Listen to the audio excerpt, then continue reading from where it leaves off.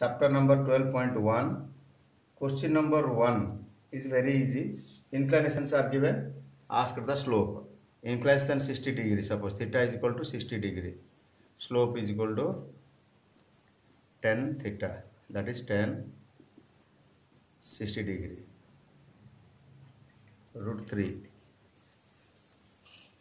clear similarly next number 2 in slope is given uh, inclination asked suppose uh, number 2 slope is uh, i'm not doing the questions uh, of exactly the number given in the book.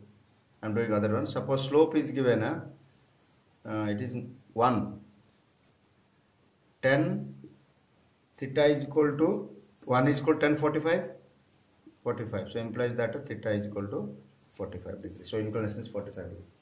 So these are the some easy sums you do i'll do number 7 there is a number 7 uh, find the slope and y-intercept of the following lines. Slope and y-intercept of the following lines.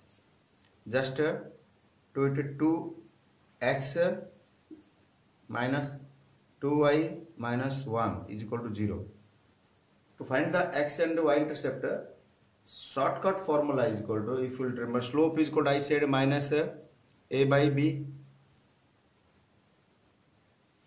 y intercept is equal to minus c by b. According the, but right all right side should be zero.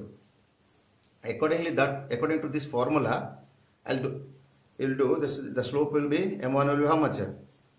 Minus minus of 2 by b sorry minus minus 1 here 1 a is 1 x is x a is x coefficient of x b is coefficient of y c is the constant by minus 2 b is minus 2 so slope is 1 by 2 y intercept is minus c minus minus 1 by b is minus 2 so minus 1 by 2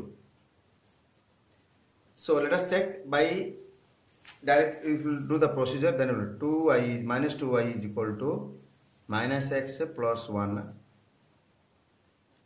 minus y is equal to minus x by minus 2 minus plus 1 by minus 2 so this one you can arrange like this.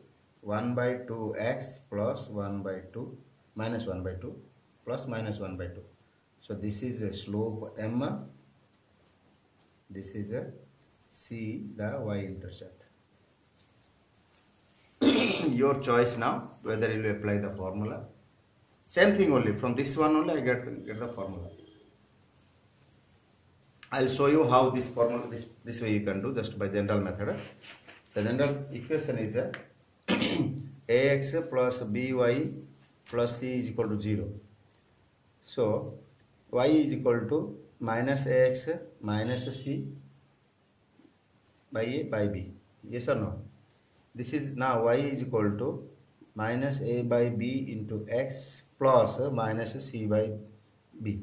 This is the form of y is equal to mx plus c form m is the slope x is c is the y intercept y m and this is the slope and intercept form arranged like that. So by that way i got this formula. You can if you want to use directly or this way you do and get that is up to you